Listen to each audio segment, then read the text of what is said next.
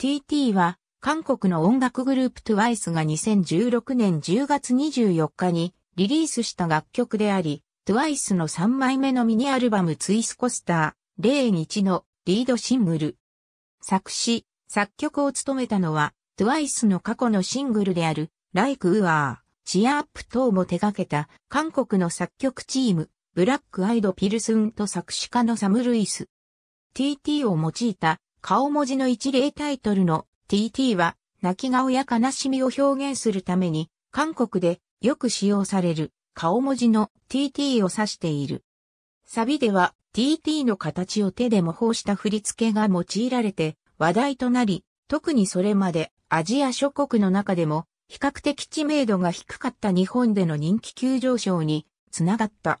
新曲のリリースは2016年10月10日に発表され、10月17日、10月18日、10月19日の3日間のそれぞれのシニアには各メンバーの個別のティーザーフィルムが公開された。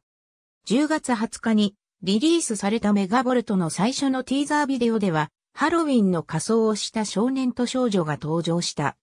21日には2本目のティーザービデオがリリースされ、23日には TWICE の公式ホームページにて TT の振り付けのイメージティーザーがアップロードされた。そして翌日の10月24日には TT のメガボルト及び収録アルバムのツイスコスター01がリリース、発売され、同時に多くの音楽ポータルサイトなどでも音楽配信としてリリースされた。2017年2月17日発売のスペシャルアルバムツイスコスター01にはリミックスバージョンの TT が収録されている。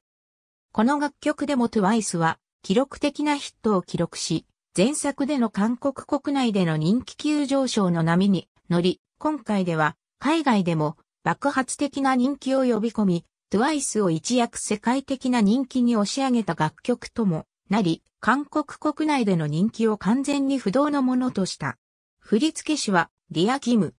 TT のミュージックビデオは、以前にも TWICE のヒットソング、Like OOH-AHH や CHEER UP のプロデュースを手掛けた制作チームの NAIVE が監督を務めた。メガボルトは動画共有サービス YouTube においてリリースから24時間も経たないうちに500万回を超える再生回数を獲得。その後は K-POP のアイドルグループのミュージックビデオの中では最速の40時間で1000万回、114時間で2000万回という新記録を達成した。2017年1月3日には YouTube における TT のミュージックビデオは1億回の視聴回数を記録した。これは K-POP のガールズグループのミュージックビデオでは最速での1億回達成であり、これにより TWICE は自身のヒット曲、チアアップがリリースされた際の記録を更新することとなった。また、TT のメガボルトの再生回数は、それぞれ K-POP のガールズグループでは、初の2億回及び3億回を達成し、さらに2018年9月には同じく史上初となる4億回の再生回数を記録した。また、2017年の日本デビュー時には、日本語版のミュージックビデオも新たに制作されている。内容は韓国語版とは大きく異なっており、どちらかというと明るいイメージが強いミュージックビデオとなっている。ありがとうございます。